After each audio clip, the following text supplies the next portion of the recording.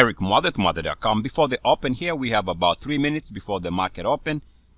And we are looking down on the futures. Actually, I think with fair value, the market is called down to open about 600 points. Now, I don't know that the market is going to be down that much, but what I want to discuss here is to be very careful whenever you see the VIX at high levels, because what this means is that the level of difficulty in day trading or trading the small time frame becomes very difficult. Now I know at first look we look at the VIX as being an indicator of bearish or bullish sentiment, but I think it's more what I would call a measure of difficulty. What I mean by that is an elevated VIX, an elevated VIX that is trading above the teens, and right now it's called to open, you know, in the higher 40s, if not 50s. What that means is that the trading is very sensitive, very sensitive to small time frames. Now, what I mean by that is because yesterday we already had the VIX trading in the 30s, you might have noticed that there was a line we had been watching on the hourly RSI where we came and tagged the line. So this top side resistance line right here. Now this might not seem like a big deal, but once the market hit that line, which was the top side resistance line, what happened was we saw the Dow shade 1,500 points. And the reason, well, it's not the reason, but that is consistent with an elevated VIX. When the VIX is high, every tiny movement on the small time frames dictates a big change. So right now before they open, what I see is there's a possibility that if the market continues to confirm this resistance line on the hourly here, it might call for another down day. And also I need to qualify that so let me zoom into this time period here. So we can see before they open here, we have about 30, 30 seconds or so. Whoops. Right, market's about to open. But what I want to show you is there's two scenarios. And that's why when the VIX is elevated, you got to be very careful because making mistakes is very easy. Timing mistakes are a problem. And that's why I think the VIX is a measure of difficulty.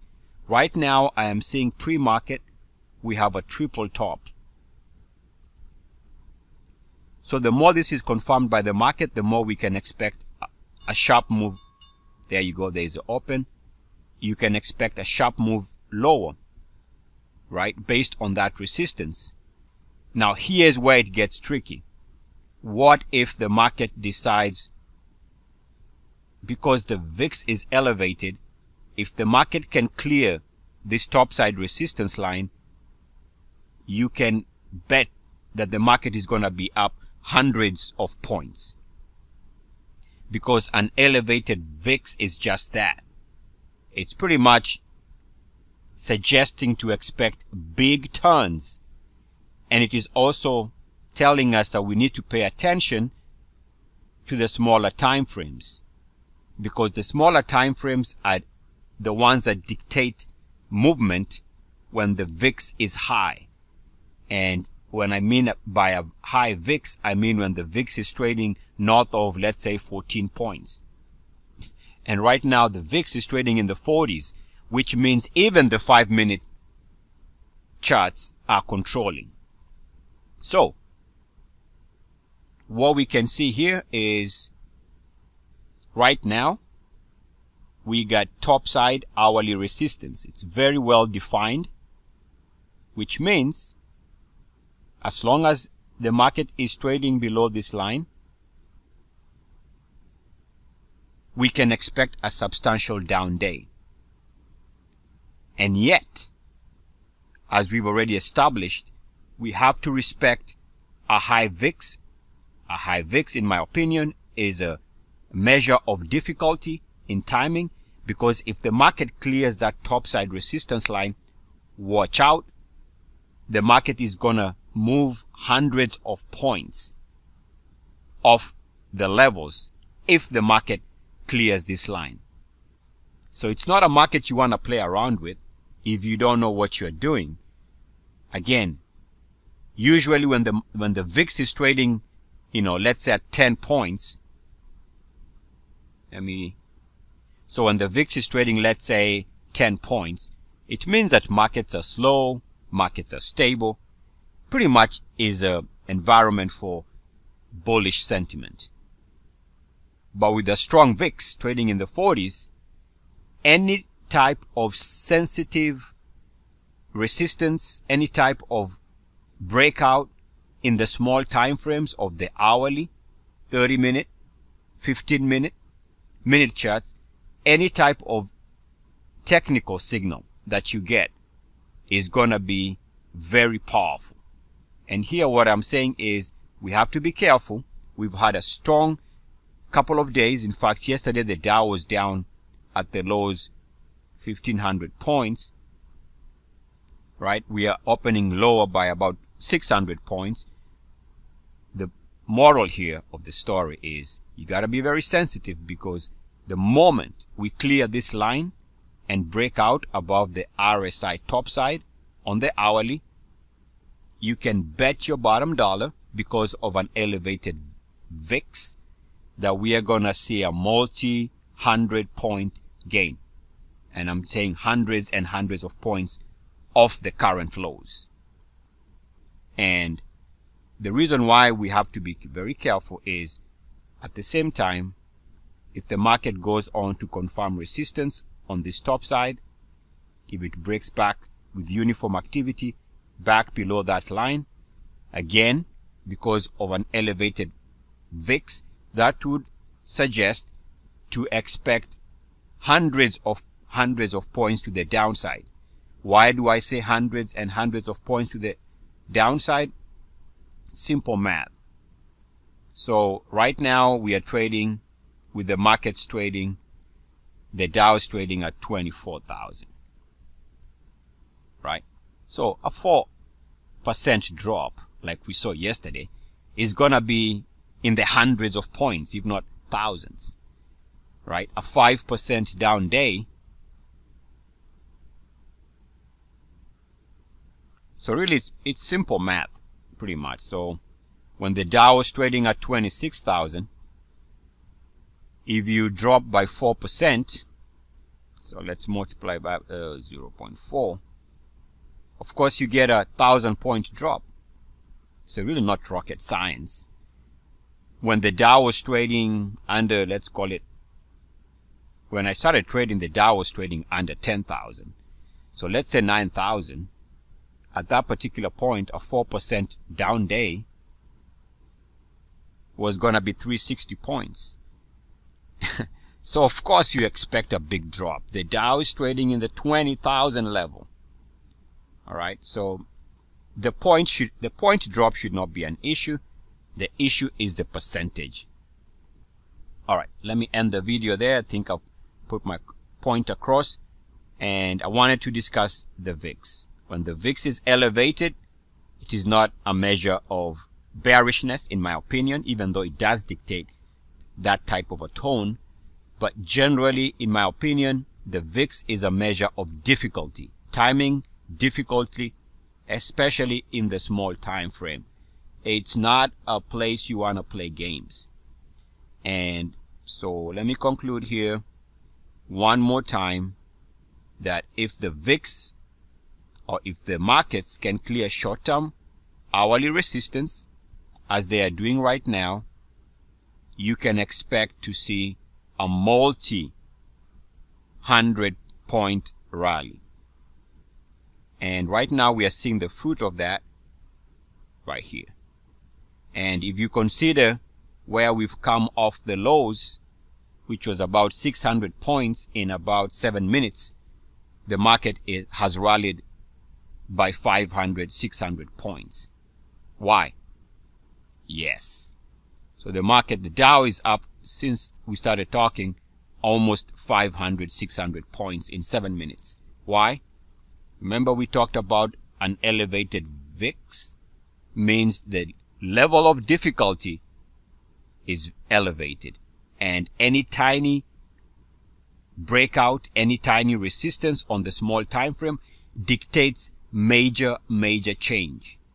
And that was pretty much the essence of this video. You gotta be more sensitive to the smaller time frames when the VIX is trading above 15 or so or is trading in the mid-teens and higher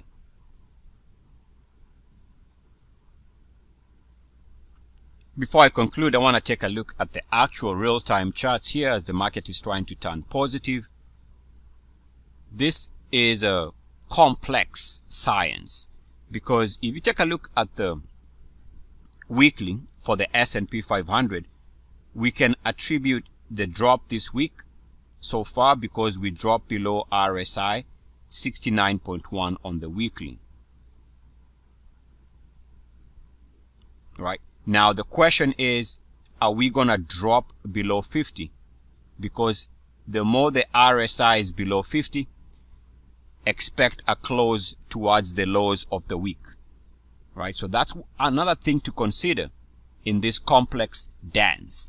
Take a look at the S&P 500 daily. The trap here or the trick is whether it stays below 30.9 or whether it recovers back above 30.9. If it can recover back above 30.9, then it stops the slide. But if it cannot move above 30.9 on the daily, then it still is going to experience downside pressure.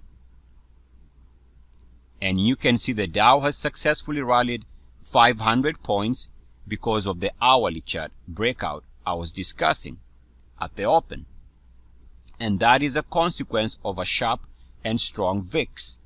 Now, we take a look at the hourly chart for the Dow, excuse me, for the S&P 500, and on the hourly, as like I said, it's a very complex dance.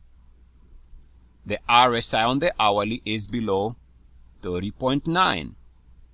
As long as the hourly is below 30.9, the market, even coming off the lows here, let me update this chart, because everything is moving pretty fast. You can see the market is just now turning positive for the S&P 500. But take a look at the RSI.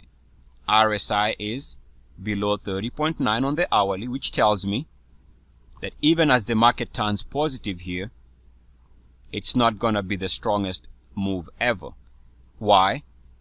Because you cannot move higher when your RSI is below 30.9 on the hourly. So that is a problem for the market. As long as S&P is below 30.9, the market net net is still pointing down. The reason is if you take a look at when the market was bullish and the opposite of 30.9 the opposite of 30.9 of course is 69.1 and you can see that the market stayed pretty much bullish even though there were down hours here.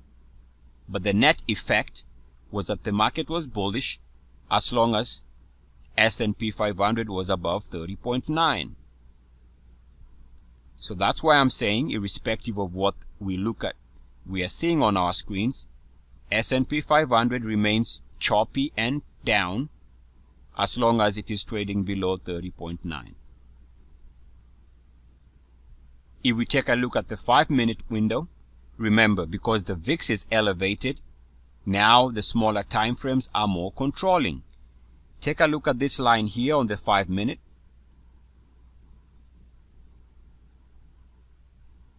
Now believe it or not, on the 5 minute time frame, 5 minute is a small time frame. This resistance right here, which corresponds with that point right there, was good for a 1500 point drop on the Dow. And then we can see another resistance intraday there. So we know that in the small time frame, the market is not going to be moving higher substantially until it can muscle its way above the 5 minute resistance line. We also know that if the market was to come back to this 5 minute line hit that line and show resistance, that we are going to see another multi-hundred point drop on the Dow. So, again, let me conclude here with a simple observation. It's a simple yet powerful observation. You have to be very careful, not try to be a hero when the VIX is trading above 15 or 14.